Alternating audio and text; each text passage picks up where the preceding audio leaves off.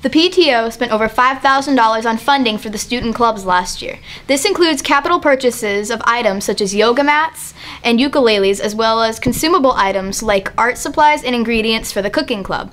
The PTO has allocated $5,000 for clubs last year, and this year we're going to spend $7,000 on student clubs.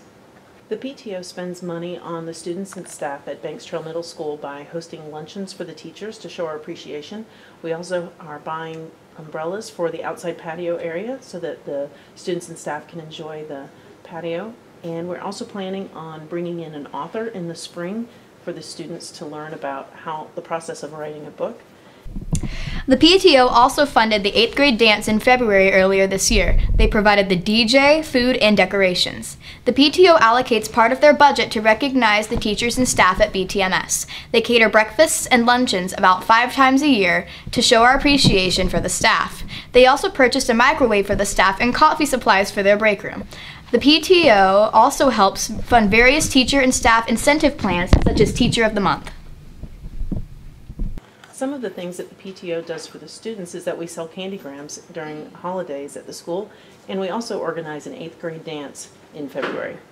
The PTO is able to provide money to support these programs through our various fundraising efforts. This includes having the students sell coupon books in the fall.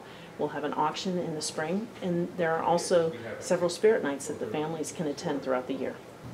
PTO has made Yoga Club better because they were able to raise enough money to get us yoga mats for all of our students. So now instead of being on the floor or being on the carpet and in the classroom, um, students can actually use the yoga mats.